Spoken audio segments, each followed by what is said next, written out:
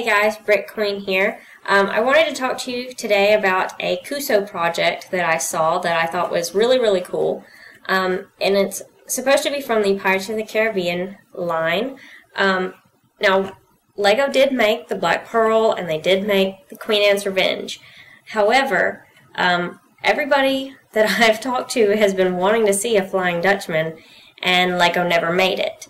Um, but there is a guy on Cuusoo called Sebeus who made a really, really cool, very, very detailed one that would go great with these two ships.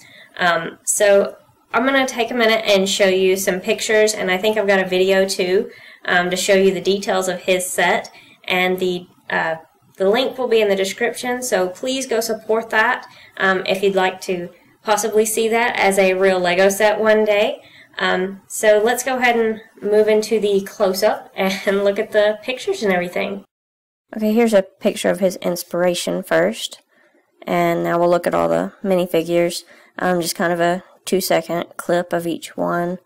Um, he gave me a lot of pictures to use. Um, so these are all the different minifigures that he has planned for the set. Of course, if Lego makes it, they'll they'll tweak it. Um, so if you don't like the figures, you know, it's whatever. Uh, Lego will change them most likely anyway if they do make the set. And then we've also got a, a video clip. It's about a minute, um, actually a little less than a minute. Um, but this is from Sebeus. He's just showing a quick kind of overview of the ship. Um, like I said, it's very quick, um, but I thought I'd show you the video clip, and then I've also got some more pictures to show you, um, show some more detail of the, the ship, because I think he did an amazing job on this set. Um, it's so detailed, he just put so much work into it. You can really tell by all the small details. Um, got a little globe in there. Um, I thought that was a nice touch. Uh, the teeth on the back look really cool. Um, so I think that's the clip's almost over. Yeah. And then here are some more pictures. Um, I think I'm going to show each picture for about three seconds. Um, so if you want another look at them, I either watch the video a second time or you can pause it and really look at the detail on the set because you just can't do justice to how amazing the set looks.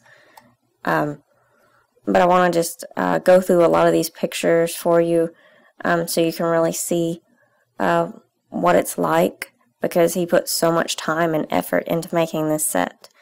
Um, and it's a very large set. So it will be a little bit more expensive if LEGO makes it, but um, we haven't gotten to that point yet. He still needs a lot of supporters.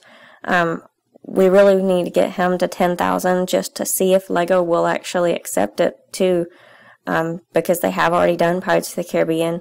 So I'm really hoping that they'll go ahead and make this an actual set. Um, like I said, it is going to be a little expensive because it is so big, and he, he actually creates the separate levels inside the ship. So I think that was really, really cool. Um, I just, I really want to see what Lego actually says about it. Um, I want to get him far enough to get an official Lego comment um, on his project to see what they actually think about it. Because I know I love it personally. And uh, I just want to kind of show you his project and ask you to support it. Um, the link will be in the description below for you to go support his project, and I really hope that you do. Um, there's a lot of great projects on Cuusoo, and this is just one of the many that I'm going to be doing videos on. So uh, be looking forward to those videos really soon. And I think I've shown you almost all the pictures I've got now, just a couple more, I think. Um, there's a great shot of the ship right there. And I think this is the last one right here. So uh, thanks for watching.